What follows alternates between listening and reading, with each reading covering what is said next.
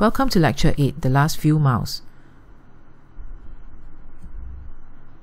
In this lecture, we will find out what is the last mile, what options are there for the last mile, and how do you make consumers DIY.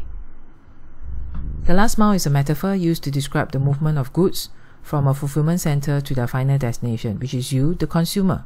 It is literally the last leg of a product's trip before it arrives at the customer's doorstep.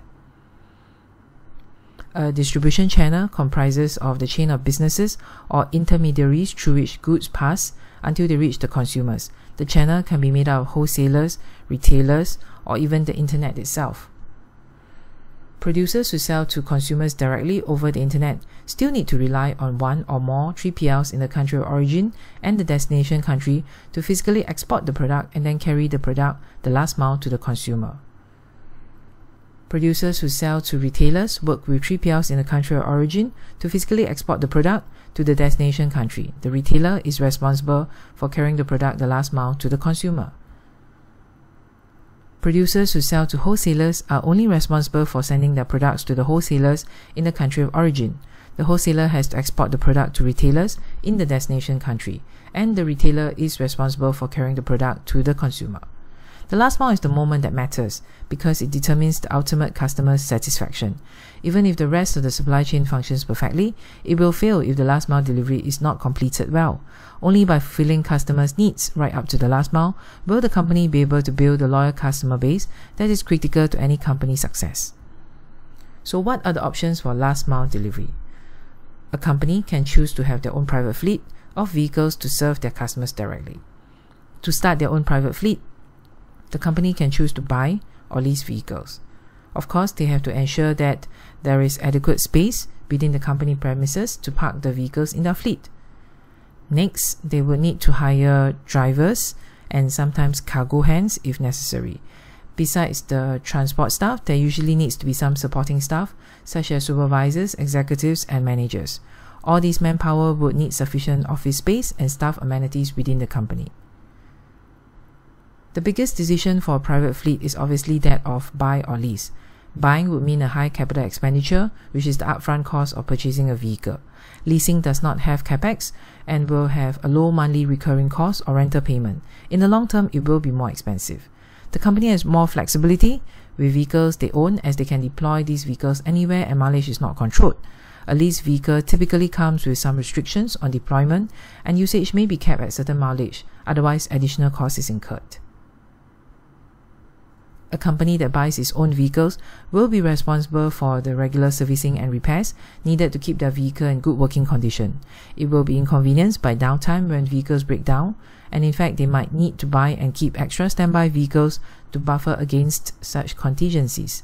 If the company leases their vehicles from a vendor, these responsibilities shifts to the vendor. The vendor has to monitor the usage of the vehicles, liaise with the company for regular servicing, and also provide replacement vehicles when breakdowns occur. Overall, the company should have minimal downtime.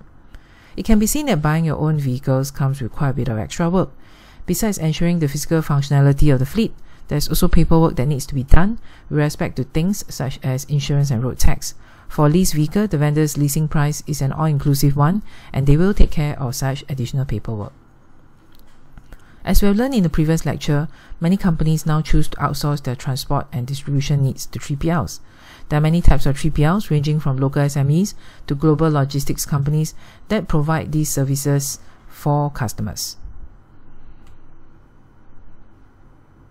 Most companies would choose to focus their, on their core competencies, such as designing and manufacturing of their products. They rely on a wide selection of 3PLs to handle their end-to-end supply chain functions, including international shipping, warehousing, distribution, and last mile delivery.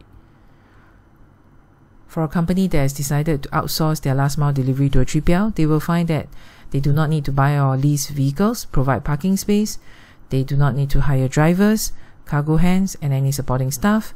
They also do not need to provide office space and staff amenities for transport staff. Besides the traditional 3PL approach, there is now another alternative, the modern crowdsourced platform, something which has greatly disrupted the industry in the last few years. Although not all companies find this a good fit for their business, for some companies it has led to increased delivery efficiency and improved customer service. It remains to be seen if this disruptor will lead to a gradual shift away from global 3PLs. Let's look at some of these companies. Capel was launched in Singapore in 2014 by a Dutch innovator and entrepreneur. It has grown into a popular and reliable last mile delivery service for consumers and businesses alike, delivering anything from fresh food, flowers, household items to furniture.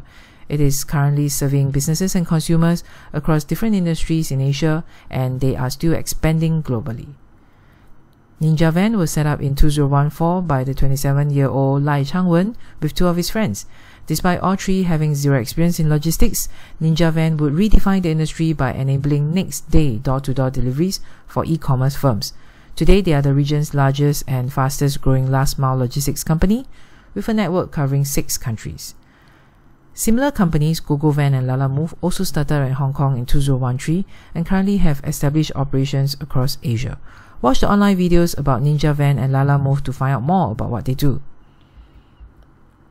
The trend is not limited to just Asia. Examples of such startups from the rest of the world include Glovo in Spain, Epic in Australia, and Postmates in the US. So exactly what is the difference between a traditional 3PL and a new crowdsourced last mile delivery service provider? A traditional 3PL might optimize the operations by dividing their service areas into different sectors. They use a fixed number of delivery personnel to do batch deliveries for all customers in a particular sector. A crowdsourced model is based on a web-based platform that uses complex matching algorithms to leverage thousands of part-time delivery people for deliveries. These may be non-professional drivers who can earn extra income by just downloading an app to begin receiving delivery orders. Most of these apps incorporate real-time visibility, enable track and trace, and offer route optimization, documentation, and signature capture for proof of delivery to give retailers peace of mind when they send packages out for delivery. This model offers low startup costs, asset-light operations, lower operating costs, and generally an improved customer service experience. On the surface, the crowdsourced model does seem superior. Considering resources, a 3PL on its own has a limited set of resources. A crowdsourced platform is able to connect their customers with a potentially unlimited pool of diverse resources. In terms of efficiency, a 3PL can only commit to delivering a fixed assortment of orders each day based on the delivery lead times committed to their customers. A crowdsourced platform optimizes the mixing and matching of people with orders from different sources. This is a dynamic system that is capable of adjusting to changes in daily volumes. Of course, every system has its downsides. From a branding and image perspective, a 3PL will have their own distinct branding and corporate image. On the other hand, a crowdsourced platform consists of a diverse mix of part-timers delivering a variety of products. For certain businesses where image is important, this way may not be so desirable to them. Lastly, a 3PL has direct control over the hiring, training, and management of its delivery team who are full-time staff. A crowdsourced platform depends largely on part-timers, who are not their direct employees, some of whom are also not full-time delivery staff. The degree of control of the quality of performance is generally somewhat weaker than for 3PL. Finally, the last mile delivery option is to simply let the customer DIY.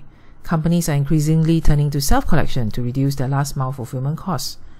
Instead of delivering orders to a customer at home, some companies let their customers place orders and make payment online before going to a store to collect the orders.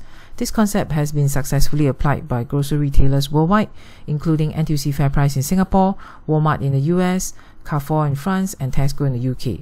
For customers to know exactly what they want, this allows them to skip the hassle of a crowded supermarket and simply go straight to a designated counter, show and scan a QR code from their mobile phones, pick up their orders, and breeze off. The other method that offers customers even greater convenience is that of the automated locker. Customers' orders are placed inside the lockers by a specific cutoff time. Customers visit the lockers at the timing of their convenience, even when the store is closed.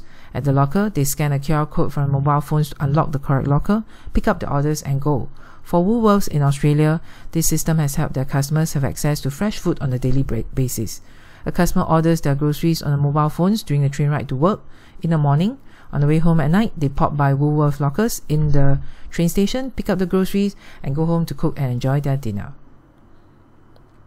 Besides supermarkets, automated, automated lockers have also been widely used globally by e commerce businesses. In addition to being used to drop off packages, the automated lockers have also become a convenient way for customers to drop off return items, saving businesses the expense of sending drivers to physically collect them. For the next level up in terms of customer service, some supermarkets in Europe also provide a modified version of click and collect known as click and drive through.